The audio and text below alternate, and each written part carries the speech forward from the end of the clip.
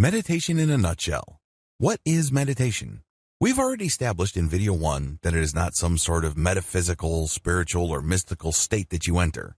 It's definitely not some sort of attempt to achieve some sort of alternate reality or navigate some sort of spiritual truth. Instead, meditation works with how your mind already operates. The bottom line is, if your mind did not have a self-correcting system to achieve some sort of balance or some sort of inner peace at some level or another, you would have gone crazy a long time ago. That is the bottom line. Meditation really all boils down to getting in touch with that and becoming more aware of that machinery so you can call it into action when you need it and on your own terms. Your mind is a very powerful biochemical machine. It has all sorts of gears and processes and systems. Meditation just simply taps into this amazing interconnected network of internal systems that manage your personal reality to make the system work for you instead of against you. The cloud analogy. To get an understanding of how these systems work, I need you to imagine that you are looking at the world from 500,000 feet. At that distance, the world is a globe. You can see the clouds at the surface, and you can see some storms. And when you sink deeper, let's say to 200,000 feet, you can see the storms up close. You can see the lightning. You can see the movement of the air. You can even see the surface of the waters. You can see the heat of the deserts. There's a lot of commotion. There's a lot of stress. But when you sink another 200,000 feet, you can see everything up close and personal. There's a lot of turbulence. Then you sink another 500 feet into the ocean. It starts getting calmer. You can still see some patterns from the surface, or if you dig into the earth, you can see some mild disturbance. But when you get to the core of the earth, it's surprisingly stable. In fact, it's a molten core. It rarely moves. It's just liquid because of all the heat and pressure from the surface. But it is very, very stable in the center of the earth. Your mind is the same.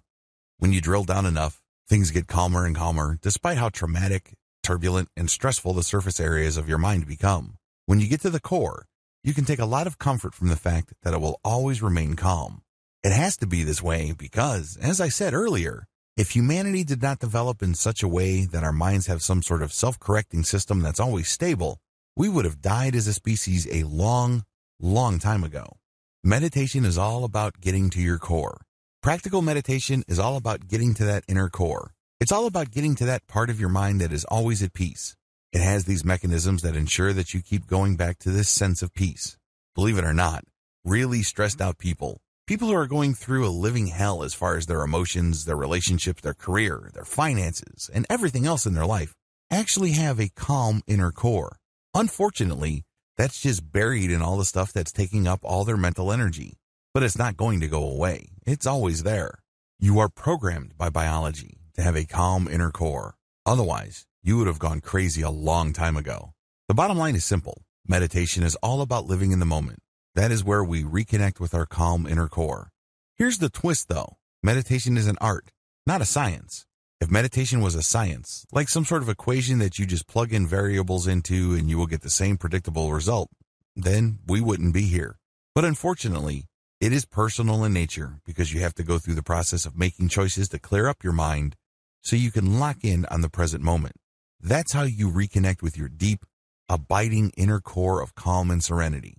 Now, with that said, although meditation is an art and not a science, it's been scientifically studied thoroughly in fact, there are at least 200 peer-reviewed, hardcore scientific studies of meditation.